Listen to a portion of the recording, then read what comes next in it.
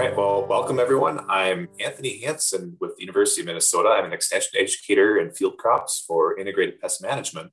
And today we'll be talking about alfalfa and specifically a bit about growth staging and also scouting for insects in alfalfa as well. So to start off, alfalfa is kind of a cornerstone crop in crop rotations, especially if someone is a livestock producer. So this picture is just a picture from my family's farm where Later in the fall, you might have corn where it was uh, taken for silage. You have a bare field. You have soybeans over on the right. And then the alfalfa is kind of the last thing that's green left out there for most of the year. So it's our thing that kind of breaks up some of our crops a bit over the years. And it can last for about two years for some high intensity uses or up to four to five years, depending on stand quality and the needs. So if you have beef cattle, for instance, you might be a little less picky about uh, the forage quality, and you might be able to get more out of that field for multiple years. Whereas dairy or other high intensity uses, you might be looking closer to those two years. So overall, alfalfa does improve soil fertility, and it also works to help break pest cycles, which we'll talk a little bit about later when we get into insects too. And this can cover not just insects, but also weeds and diseases. So if you're mowing your fields or breaking up diseases or pathogens from other plants, say like soybean cyst nematode, you're making it so that field isn't as hospitable to some of these pests for a time if they're specific to a certain crop. So where we'll be going today is talking about alfalfa development, growth staging, and then also some specific insects and how to manage those in alfalfa. There are multiple insects uh, we can cover besides those, but we'll talk primarily about alfalfa weevil and potato leaf hopper. So to start off, alfalfa growth staging. There are a few different ways to approach this, but most common way is using stage numbers and looking at different um, types of stages. So we'll start off with early vegetative, but then there's also early and late bud, and then early and late flowering as well. So this is kind of the three main groups we'll be looking at. And over on the right of this table, you can see a few different uh, descriptions talking about uh, pretty specific things dealing with either stem length or whether you're seeing buds or flowers or potentially seed pods. So this table isn't a full list of stage numbers, but we'll be primarily gearing this towards uh, production alfalfa. And ideally, you'll be mowing before you get to the point you're producing seed. So we'll be just going up to about flowering. So the graphic on the right shows difference between buds, flowers, and potentially seed pods if you do get to that stage to help identify you know what you're looking at. So if we're talking about bud, you'll see these flowers just starting to emerge, but they're not opening up quite yet. So a lot of this will be focusing on again that green box, early vegetative, and then a little bit into that early bud stage. So we discuss forage quality. This again depends on what someone has in their operation for needs with livestock, especially. We look at relative forage quality. That can be pretty low requirements if you're dealing with things like some horses, dry cows, and heifers at some points. And at the other end of the spectrum, we have production dairy cattle, especially in the first trimester, dairy calves. In the middle of the range, we have things like uh, feeder cattle and some dairy, especially in those last 200 days. So depending on what you need, there can be quite a bit of variation in there. And that can play into both your agronomic needs, then also getting into pest management as well, uh, potentially. So the first question when it comes to agronomics and growth staging is when to cut, especially whether it's your first crop, getting your second, third, potentially even fourth. The first consideration is basically what kind of characteristics do you want in your yield. So first you can have forage yield, stem yield, and leaf yield. That's the total amount you're getting out of the crop. There's also another factor in there that kind of competes with this overall yield, and that's digestibility, or again, that relative uh, forage quality. So if you want high yields, overall that forage quality will go down if you wait until that full flowering stage. If you want to cut very early, you may not get yield, but you will get high forage quality at least. So there's the interplay between those two again depends on your operation and kind of what needs you have there. So a lot of times I'm talking about either the bud stage or first flower, that's about where the two equal out to a degree. So you're optimizing both your forage digestibility and your overall yield. Also related to growth staging is root reserves. And this matters a lot, especially when we get towards the end of the season and you are looking at survivability of your alfalfa stand over the winter. You want those roots to have at least some reserves in them, being able to grow and not being stressed constantly by mowing too early on. So when you look at overall in the growth stage, first you have growth initiation, but then you get about to six to eight inches of height. That's when you see the lowest amount of sugars or carbohydrates in those roots. So this is the point where the plant can be stressed potentially the most. Then once you get to about the bud stage again, full bloom, that's about the peak carbohydrates again. So those roots have quite a bit to work with. Then after that, obviously they're going to be putting more into seed if it does go to that point. So that's how we can manage how healthy our alfalfa stands are by different growth stages and when we mow. So this leads into managing insects specifically. And we talked about the growth stages a bit and the health of the plant. But that's going to also affect when we decide if we're going to treat or use uh, other tactics like early mowing. So there are quite a few insects that actually do inhabit alfalfa. If you go out there compared to a soybean field or cornfield, you'll oftentimes find a high diversity of insects. So for us entomologists, it's nice to go out into alfalfa fields and be able to find a high diversity of insects, at least for different pests to be able to take pictures of, like these cases. Not so great sometimes for production, but there's some variation in that too. Sometimes you get blister beetles for some pests, more pests on the horse end of things. And then you'll find other insects like alfalfa caterpillar that can rarely reach economic status as a pest. So there's a lot of variation in how much insects out there can actually cause damage to your alfalfa. And there could be other insects like variegated cutworm, plant bugs, pea aphids. We're not going to cover those today, we'll focus on two main pests early season when we talk about alfalfa weevil. And then later in the season is when potato leafhopper populations start to build up. And this helps illustrate the need for scouting and managing pests throughout the year, even for alfalfa, because sometimes we think about corn and soybeans, we're out there managing pests and being proactive, but we may not always think about alfalfa all the time. And sometimes the pests do catch us off guard we talk about alfalfa integrated pest management, and we have other presentations talking about IPM and scouting. But just for a quick definition again for people, it's mainly our method to keep control methods compatible and reduce the risk from each of those. That especially applies to what we call some of our free tools that we have for farmers that we have to pay for insecticides, go and pay for application costs as well. But then we have some other tools out there that either can come with the plant or are actually other organisms out in the field helping us out. So one issue that has come up with alfalfa management recently is use of insurance insecticides. Going out and spraying ahead of time, thinking you might be able to get ahead of the pests. And maybe you're not out there scouting necessarily, or it might be after the fact when they've caused the damage and the insecticide is not necessarily helping anymore. So there are a few considerations when you're using insecticides in an IPM program. One is that a lot of our broad spectrum insecticides can kill beneficial insects. And we'll talk a little bit about those in one of our upcoming tests. This loss, what we call biological control, can cause other insect problems to flare up when normally they would have been controlled. So you can basically uh, cause issues with one of your tools and actually end up costing you more in the long run. And this overuse of insecticides can lead to, or can lead to insecticide resistant populations.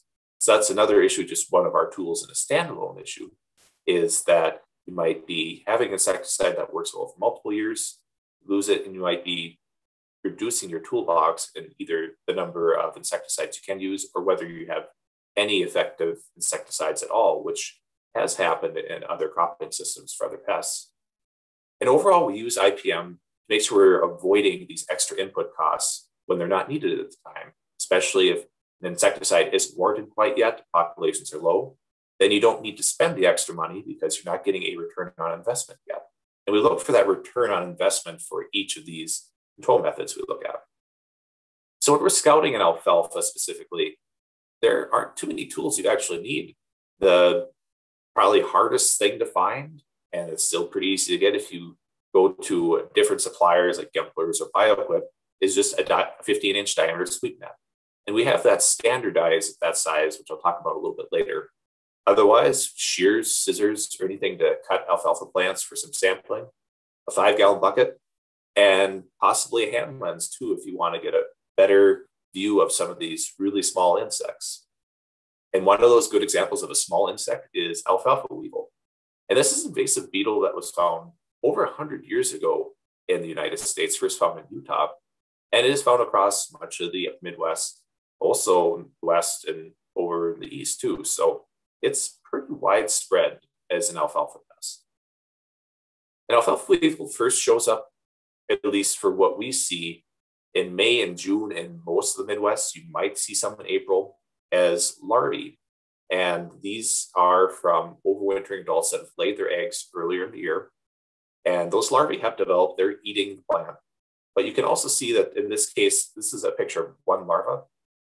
You can often get a whole handful of these larvae by going to your Discbine after you mowed, if it's a high uh, density field, and picking up a lot of beetle larvae off of that Discbine. That's not uncommon to get pictures like this. So during the whole period of kind of that May to June period, they are feeding. Once about June hits, those larvae develop into what we call prepupae. They're no longer eating. And it's kind of like a butterfly where they will have their metamorphosis. They'll go through pupae and then eventually to an adult. Now, this adult beetle in about July, it might feed a little bit at first, but it goes into what we call basically estivation, a period of dormancy throughout the summer. So once those adults are out there later in July, there's no damage occurring at that point. And at that point, we are really not thinking about managing alfalfa weevil anymore. It's a one generation a year pest. And after that, that's pretty much it for this pest. So we have a limited scope to look at this and look for damage. We can also save potentially by not going out and applying insecticide when they're no longer at the pest status or basically the feeding stage. There also have been some parasitic wasps released for a little bit more of a history on this. And they really came to prominence about the 1980s, 1990s, where it seemed like alfalfa weevil was being controlled pretty well. But throughout the Midwest, we've had reports of sporadic outbreaks occurring. And there's been some concerns of whether these parasitic wasps are no longer controlling alfalfa weevil and trying to figure out reasons behind that. I'll talk a little bit about that at this uh, follow up at the end here. So, when it comes to actual feeding damage and symptoms, what happens is these larvae are feeding on the leaf tissue on the leaves, but they tend to leave behind the leaf veins. So, you get what we call skeletonization. And over on the left, you can see pretty clearly it's just the leaf veins left after a little bit more severe feeding. Over on the right, we have a picture of some alfalfa, especially in the rightmost part of the picture. You can see a lot of the skeletonization, and basically you see less stand. Whereas over on the right, that's those are pretty clean plants. So if you're going out in the field and you see this amount of damage ready, it's a little bit too late to do anything potentially. But again, it will depend on the growth stage of your plants and when you're going to be mowing. And that gets into how we actually manage or control alfalfa weevil. One of the main considerations actually is mowing. When you think about you're going through with the mower, a lot of these insects, especially the soft-bodied ones, they may not survive that, but then they're also getting thrown between the windrows. And there's been a little bit of growth in this picture here already. But if you think about early on in the stubble, that's not a very hospitable environment for these larvae. So that is one way we can actually kill off the larvae without needing to do any extra treatments going over the field, paying for applications of insecticides. One thing to keep in mind is these windrows can actually be a shelter for these though. So these larvae will continue to develop a little bit in that stubble under the windrows. So you do want to look under the windrows or try to uh, basically break up those windrows and bale quicker if you know you have a high infestation. The other option is insecticides. You can get into carbamates, organophosphates, and pyrethroids for a few of the common active ingredients in those lists. Those are commonly used for other insects too, so they should be pretty available. Be sure to check the labels on what is specifically labeled for alfalfa. So when we get into all these control tactics, when do we actually decide when to use them? And there's been quite a few studies out there looking at economic thresholds for alfalfa weevil, foliation, weevil numbers, and basically yield reduction. So this graph shows just some data from early in the 1990s when there's a lot of work going on on alfalfa weevil, that if you get about around 50% defoliation, you're getting close to 20% yield loss and just increasing from there. So these data inform what we use to decide for scouting thresholds of going out and scouting and deciding are we at levels that we need to take action at. So to do that for alfalfa there are multiple ways to go scouting for it. And you can utilize your local extension websites. They often have uh, preferred methods for scouting in your state if there is some data suggesting that one method works better than another. One common method is first just to take a sweep net, not doing anything too scientific yet. We're just checking to see if the larvae are present. And at that point, if you do find some that are present that you think it is worth sampling further for, you can cut 30 plants across field to ground level using those shears. And then you take that five gallon bucket I mentioned. So you rec record the height of each plant. This goes back to growth staging and those vegetative stages where we look at plant height, and then shake that plant in a five gallon bucket, just knock all the larvae off. Any, any other insects can show up in there too. So basically, all you're recording is plant height and number of larvae per plant. Then you'll average that out as larvae per stem in the field.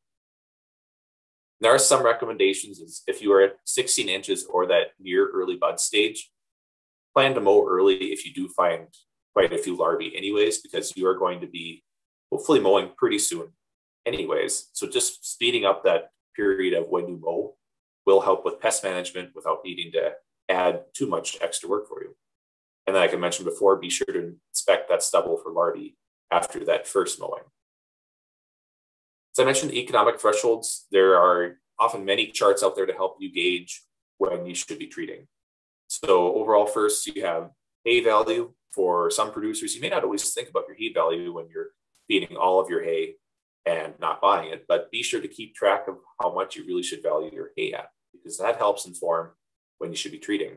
You know, it's always use the treatment costs of insecticide per acre as well in these charts. So you can split it out by, let's say, if you're in the mid vegetative stages, then you might be looking at treatment costs of $7 per acre or possibly less.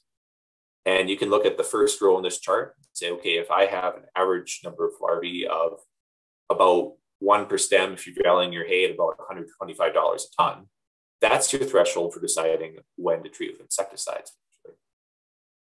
However, as you move down this chart, you can see you go to late vegetative, early bud, and then eventually if you get to a threshold of over 50% plants at the bud stage, it's more beneficial to mow. So over on the right, there are a few more options we add in there for control options. Basically, if you're in the mid-vegetative stages, that's the point you could consider insecticides. But as you keep moving closer and closer from late vegetative, early bud, you're running into potential issues. One, some of those insecticides have a pre-harvest interval that is actually too long to be able to use for feeding to your cattle or other livestock.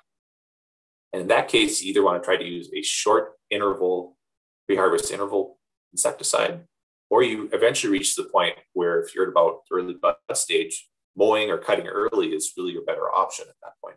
So there's an interplay going on there too. You have to judge based on the specific operation and what is needed there. So overall for alfalfa weevil management, first thing we want to rely on is mowing if possible.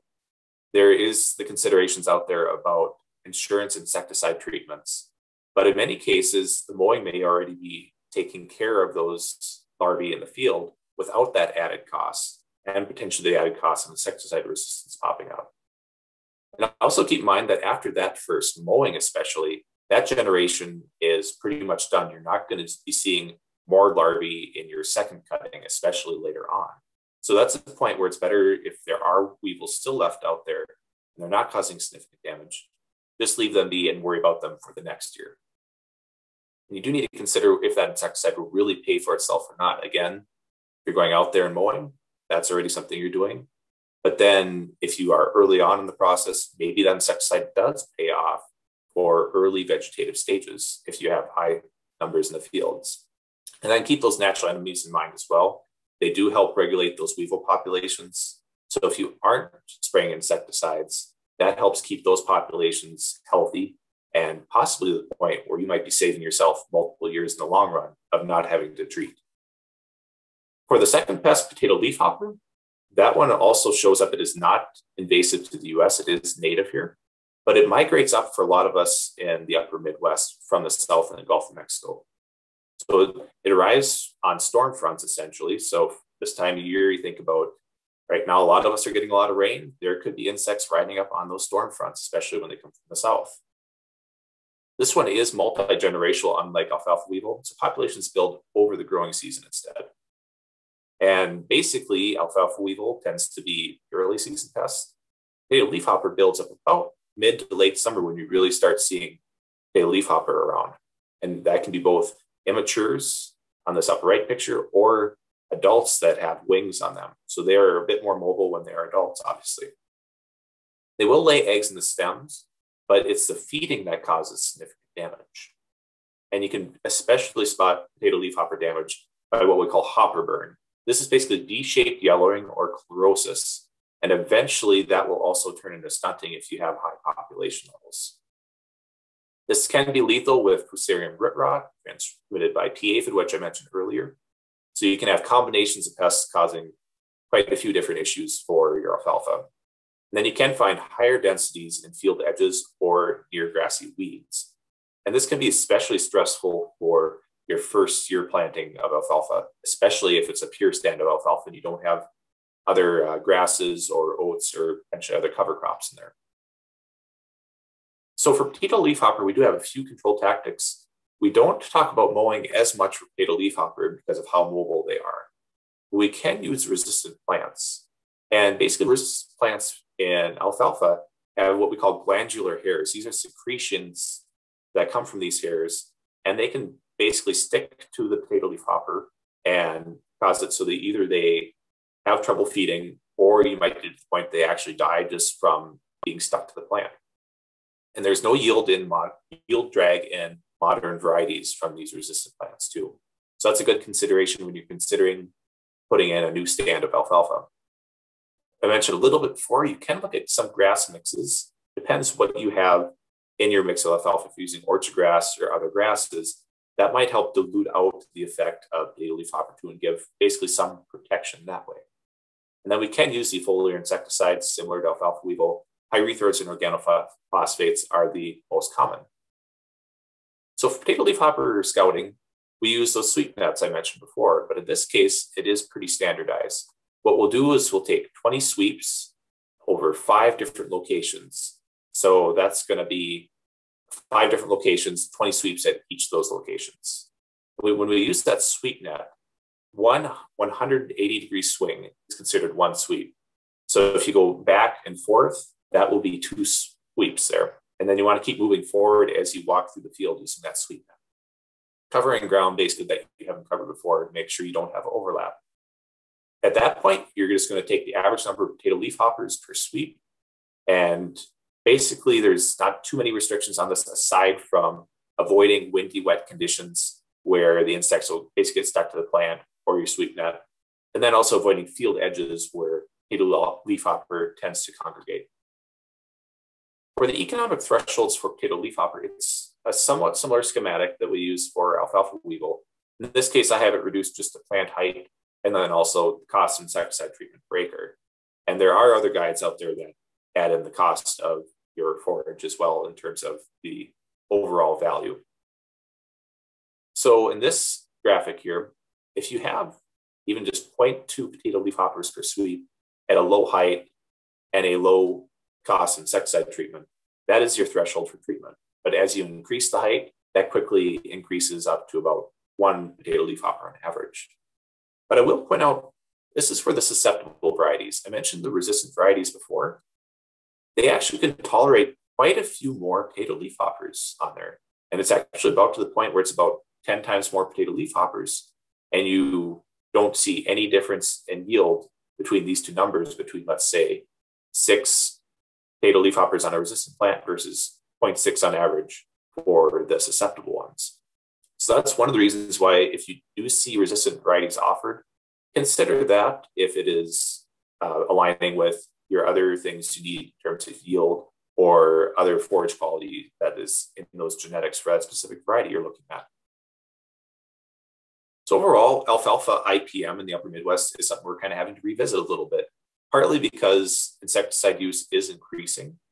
And we want to make sure we're using that judiciously to the point that we're using it at the correct time and not losing some of our tools there, whether it's insecticides or these natural enemies that we rely on. And that is kind of this recurring question, especially for alfalfa weevil showing up because it had been controlled so well for a while. Is it pesticide resistance that's occurring in alfalfa weevil itself, or is it the natural enemy populations that are having trouble? There's research going on in there, but that's what we want to keep an eye on both these, especially. And I mentioned earlier before, but be sure to check those pre-harvest intervals on your insecticides for alfalfa because it's a short interval between when you apply and harvest in many cases, especially compared to other field crops. And overall, this uh, shows the need for why we use IPM, using scouting and only using your insecticides when necessary, both for potential environmental effects, but especially for those of us when we're looking at just the balancing the books for farming on our fields, is, is there return on investment for what we're doing? Usually this scouting and selecting when insecticides should be used pays off in many cases. With that, I'll just leave folks with a few selected resources for guides on alfalfa management, whether it's staging or a few different insect pests to look at, as well as some of the other pests out there in alfalfa. with that, I thank everyone for uh, following along for talking about alfalfa today. With that, thank you.